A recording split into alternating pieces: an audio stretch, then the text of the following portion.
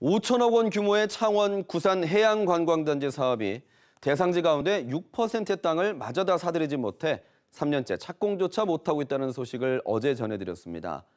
착공이 지연되면서 사업비만 900원이나 불어났습니다.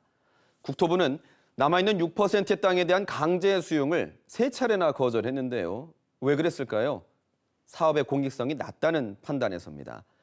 이에 대해 창원시는 공익성을 보완하고 있다고 합니다. 얼마나 실효성이 있을까요? 황재락 기자가 분석해봤습니다. 국토교통부 중앙토지수용위원회가 창원 구산 해양 관광단지 사업의 토지 수용을 세 차례 반대한 이유는 공공성과 공익성이 낮다는 것. 이에 창원시가 제시한 대안은 민간 사업자로부터 사업구역의 녹지를 기부 체납받아 공공용지 비율을 38%로 늘리겠다는 겁니다. 과연 타당할까? 창원시의 토지 이용 계획도를 직접 확인했습니다.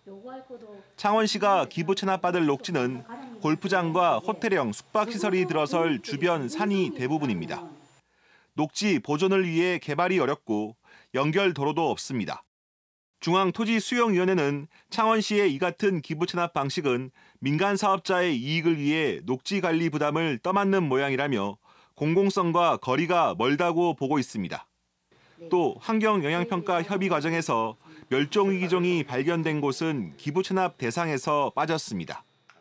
밑에 보듯이 멸종위기종이 있음에도 불구하고 50m 이격거리는 지키지도 못한다고 이야기하면서 다른 부분을 이렇게 녹지를 환원한다는 것은 그건 진정한 기부 체납이 아니라고 봅니다. 민간 사업자의 이익 환수도 논란입니다.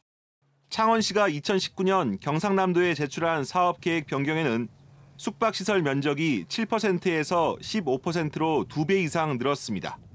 전국 46개 관광단지 숙박시설 평균 면적 9%를 뛰어넘는 정도입니다. 특혜 논란이 잇따른 이유입니다. 특혜로 빚을 질 수밖에 없는 거죠. 왜냐하면 가족형 호텔하고 레지던스 호텔하고 이게 다르지 않습니까? 자금 조달 방식도 달라지고. 당시 철저한 검증을 약속했던 창원시의 입장은 2년 만에 바뀌었습니다.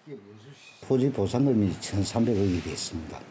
거기에 비해 가지고 숙박을 한다 하더라도 이제 손익의 차이는 없다고 저희들이 판단한 것입니다. 수년째 사업 지연에도 공익성과 난개발 논란조차 해결하지 못한 창원 구산 해양 관광단지. 창원시는 보도자료를 내고 다음 달 토지 수용을 통과시켜 사업의 기지개를 켜겠다는 청사진만 밝히고 있습니다. KBS 뉴스 황지락입니다.